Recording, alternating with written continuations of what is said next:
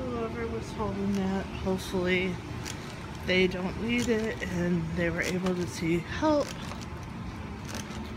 yeah, just makes you just, I don't know, think about reality a little bit.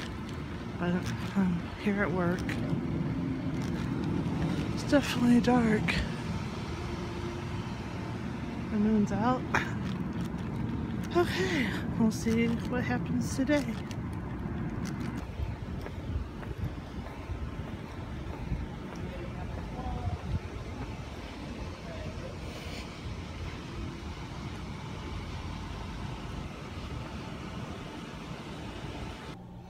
Hey everybody, so whew, another 10 and a half hour day.